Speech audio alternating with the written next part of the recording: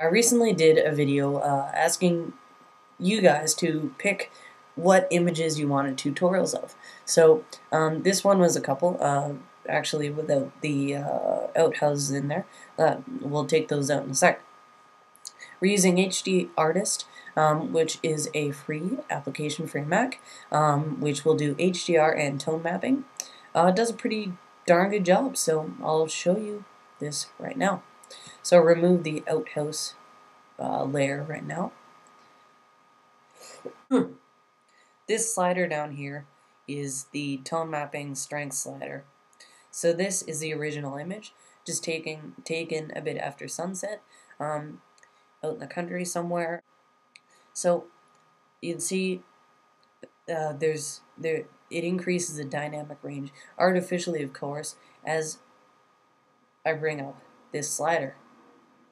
So that that's what the tone mapping does. So I'll bring it up all the way, and then uh, all you need to do is click Save HDR. And remember that you can do multiple layers, so if you wanted to add another photo, it'll blend it in there. And um, so click Save HDR and come back in a sec.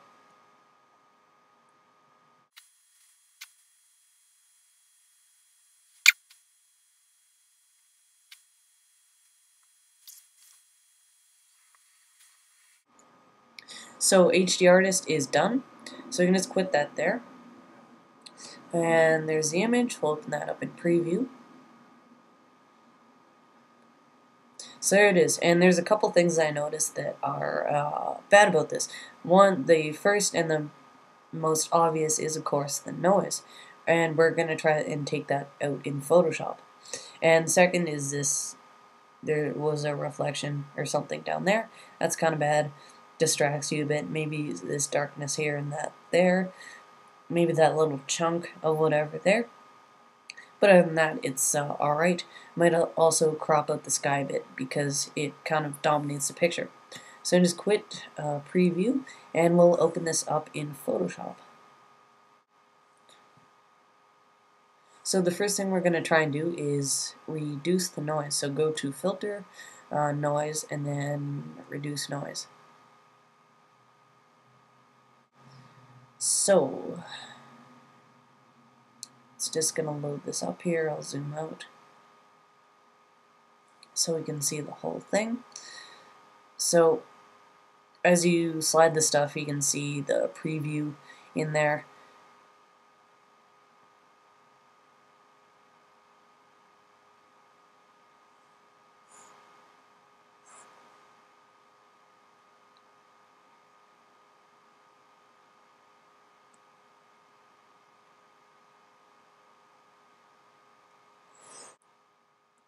So Photoshop's noise reduction engine isn't the best. It's, well, it's not that great for uh, this. We do it by hand with clone stamping and stuff, but we won't get into that in this video. We'll just um, clone out some of the junk that got in the way. So it didn't do a horrible job reducing the noise. It looks kind of splotchy, but that's fine. If we spent more time at this, it could look better. But what we'll do now is we'll just clone out some of the junk. I've showed this a bunch of times before, but uh, I still get people asking how to do it, so I'll, I'll show you again. So I'm in, oops, we're in clone stamp tool there. Gonna pick a soft brush, it's the best, and then you can make it bigger by hitting the right curly bracket.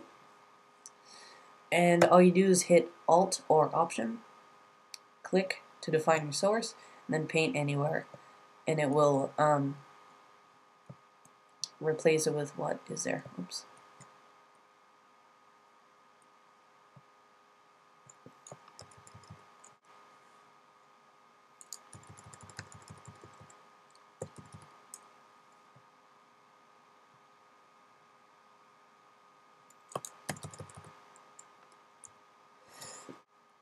So I think that's all I said I was going to do the image. Um, and, well, that's, that's enough for me.